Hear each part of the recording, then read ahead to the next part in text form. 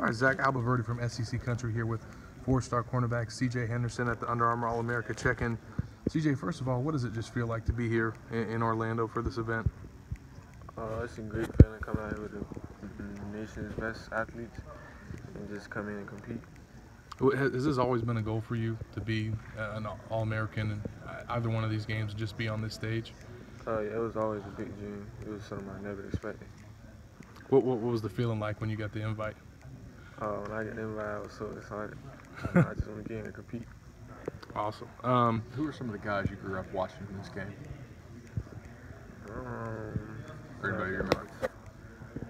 Yeah, I got to watch Jalen Tabor, um, Dory Jackson, um, Ivan Marshall, a lot of those guys. CJ, what's the recruiting process been like for you? Uh, before the dead period, it got crazy. It was something I couldn't even sleep, staying up like talking to coaches and stuff like that. Wow. What about in general, just like the whole process? Has it been, has it been overwhelming? Has it been fun? What have the emotions been like for you?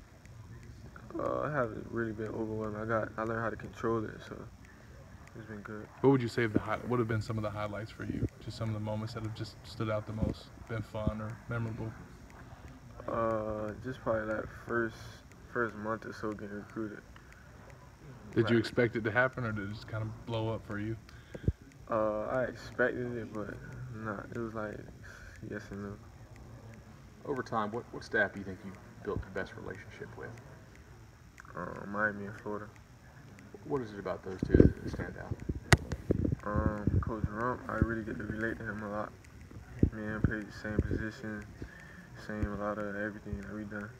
In Florida, um, I just get there a lot, and I just get to feel for it like their family. Is that the school you visited the most? Florida? Yeah. No, I think I visited Miami more. How tough has it been in your mind, just going through this process, maybe knowing it, it might come down to those two, and just trying to decide in your head like where you want to go, trying to pick between those two? How hard has that been? Uh, it's been tough, but I know I had to decide sooner or later on which, which school I could see myself at. When you made that decision, wh- what's it going to come down to for you? I mean, what are like the main factors that you're going to choose from? Um, probably what school I feel most comfortable at at the end of the day. Now, you got two guys from Miami that, that you're close with that are going to Florida, two uh, pranksters, Oh and Sean and, and Kamori. How much do you talk to those guys? And I mean, do y'all talk about Florida? Do you talk about recruiting? Are you guys just strictly friends? How, how does how's that relationship? Uh, we do every once in a blue moon, but we get to, we talk like probably often, like every week or so. We get to talk with each other, play around, crack jokes and stuff like that. Do you guys ever have a serious conversation, or is it jokes the whole time? Know, I think we always what do you what do you like about those those two guys, and, and what would it be like to play with them at Florida?